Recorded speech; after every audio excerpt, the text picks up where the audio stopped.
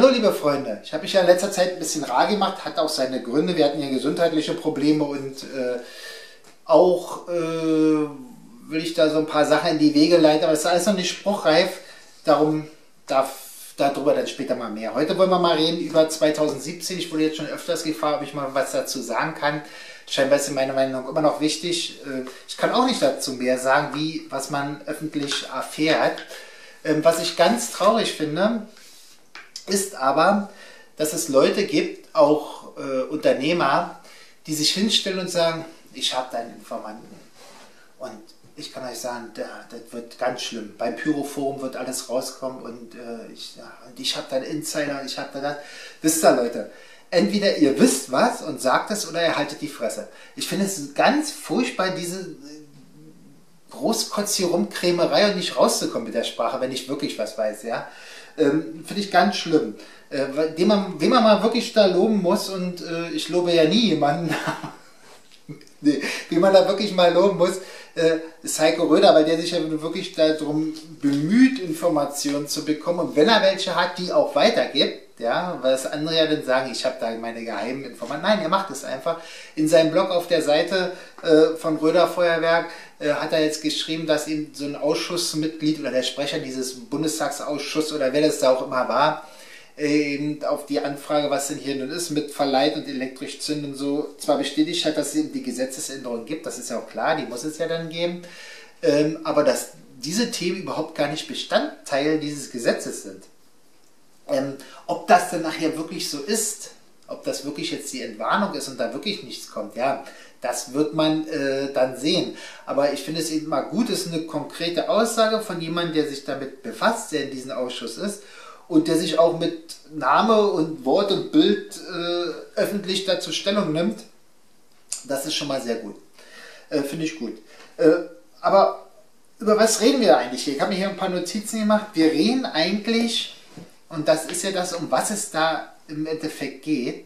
Das ist die Richtlinie der EU, also die hat die, die Bezeichnung 2013-29-EU und die setzt die alte äh, von 2008 eben außer Kraft oder löst die ab.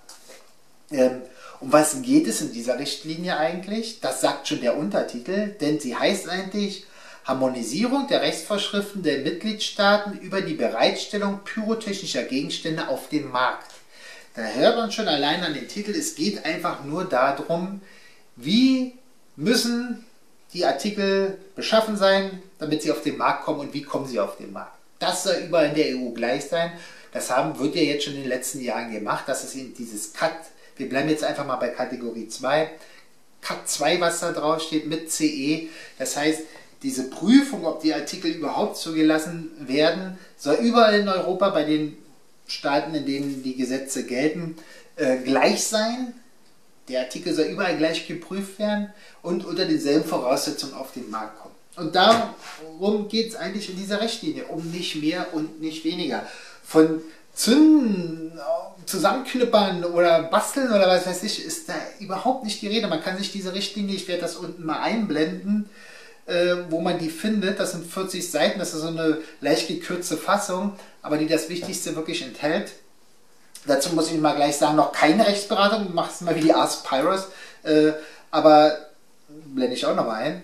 Aber das kann man sich wirklich durchlesen und da wird man sehen, dass es überhaupt nicht um solche Sachen geht. Ne? Äh, nichtsdestotrotz weiß man allerdings nicht, was noch dazu gedichtet wird. Also nicht zugedichtet jetzt in Form von wirklich Dichten, sondern nachher im Gesetz. Denn diese EU-Richtlinien haben wir jetzt auch, können national doch scheinbar abgeändert werden. Und wie man zurzeit im Land sieht, sind der EU-Gesetze nicht doch nicht ganz so wichtig.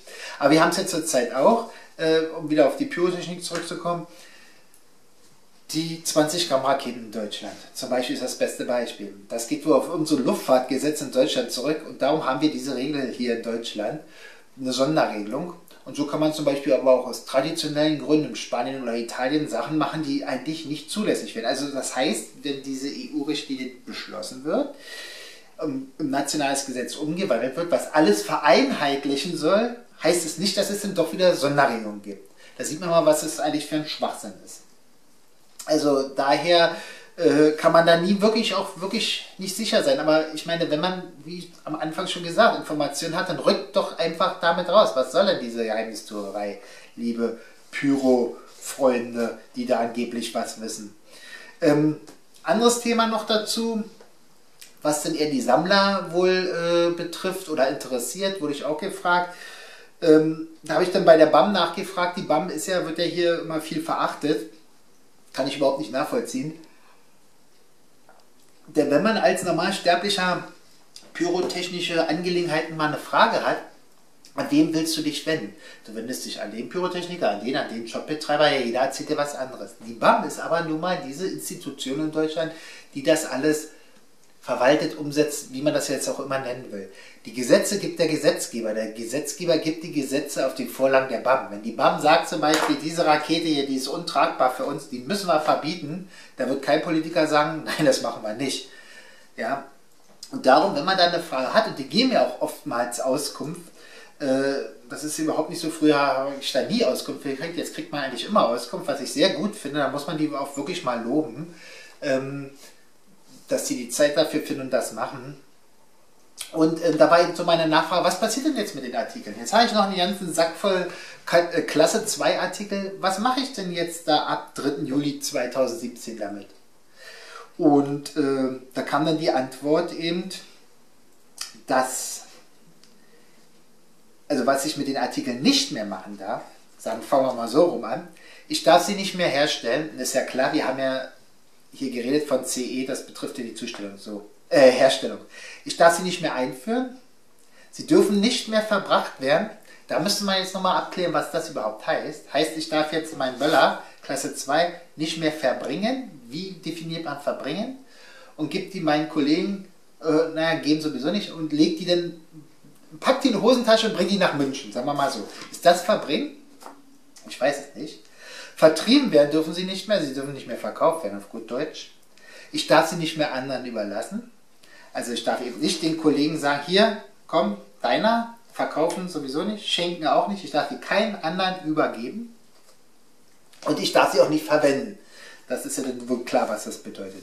Aber, und darauf wird auch nochmal extra hier hingewiesen, ähm, äh, so können Sie daraus ablesen, dass nur der Besitz nicht reglementiert wird. Das heißt, nach dem Stand der Dinge jetzt hier, nach dieser Mail, darf ich die Teile auch nach äh, Juli 2017 noch besitzen. Das finde ich ist sehr wichtig für die Sammler, die ihre Vitrine zu Hause haben. Die müssen die jetzt nicht leer räumen, weil sie Angst haben, wenn der nächste Mal jemand eine Heizung ablesen kommt und sieht es in der Vitrine, scheißt er die an. Nein, man darf es noch besitzen. Also ich kann es mir ins Regal stellen, dann ist gut. Man muss dann natürlich äh, sich an die Gesetze halten, so wie sie jedenfalls jetzt noch sind. Und zwar äh, ein Kilo NEM im bewohnten Raum. Das ist eigentlich eine ganze Menge, wenn man mal überlegt, was haben die Leute in ihren Vitrinen, die haben da vielleicht Böller, ein paar Raketen oder so, da hat man ja keine Batterien, in der Regel jedenfalls, äh, nicht zu stehen. Und da ist ein Kilo NEM doch schon eine ganze Menge eigentlich, weil wenn man mal bedenkt, so ein Böller hat sechs oder die anderen haben vier. Ähm, da kommt schon eine ganze Menge an Artikel zusammen, die man sich da hinstellen, legal hinstellen darf. Finde ich nicht sehr wichtig zu wissen, dass man das dann auch nach 2017 machen darf. Aber wie gesagt, herstellen, einführen, verbringen, vertreiben, anderen überlassen oder verwenden ist dann tabu. Wenn man sich das mal überlegt, so sind dann halt die Gesetze, da muss man sich eben daran halten oder eben nicht und dann mit den Konsequenzen leben. Aber wenn man sich das überlegt, was es wieder eigentlich für ein Irrsinn ist, ich habe jetzt hier meinen Böller, den habe ich, nur mal hier nochmal raufgucken, am 2. Juli 2017 ist der noch völlig okay und einen Tag später ist der so, dass ich ihn nicht mehr anzünden darf. Weil was hat sich denn jetzt an dem Ding verändert? Nichts. Äh, aber irgendwann, wenn man so eine neue Zulassungsrichtlinie erlässt, dass alle Artikel eben so geprüft werden müssen, irgendwo muss ich ja mal einen Cut machen. Oder was eigentlich viel äh, besser gewesen wäre, und eigentlich haben wir aber diese Phase jetzt auch schon, dass, äh, dass ich mir eine Zeit gebe und sage, so alles, das darf nicht mehr verkauft werden äh, und nicht mehr hergestellt werden, das muss alles CE haben, aber ich kann es noch so lange verwenden, bis es alle ist. Und eigentlich sollte das ja jetzt, diese Übergangsphase läuft ja eigentlich jetzt schon, also jedenfalls mit dem Verkauf. Man kann ja Klasse 2 noch verkaufen, aber ab dem 3. Juli 2017 kann es nicht mehr verkauft werden. Ähm, laut der Gesetzgebung, andere sagen noch bis Jahresende kann man doch noch und naja, aber jedenfalls sagen wir mal 2017 ist der Schluss. Aber äh, dass man dann eben sagen würde, der, äh, die, die, die Bevölkerung, der Endverbraucher darf es noch so lange verbrauchen oder benutzen, bis es ihnen alle ist. Das wäre sinnvoller gewesen. Und Effekt wird es niemand überprüfen, aber wir gehen jetzt einfach mal davon aus, wie die Gesetzlage so ist. Ja, mehr Informationen gibt es dazu nicht. Was wirklich kommt, werden wir sehen. Ähm, man sollte nicht locker lassen und immer wieder nachfragen. Und darum ist die Arbeit von Heiko Röder, die er da diesbezüglich macht, wirklich sehr gut. Ähm, und andere, die eben angeblich was wissen, aber das nicht sagen, die sollten dann noch entweder ihr Wissen mit uns alle teilen oder einfach die Klappe halten. In diesem Sinne, macht's gut.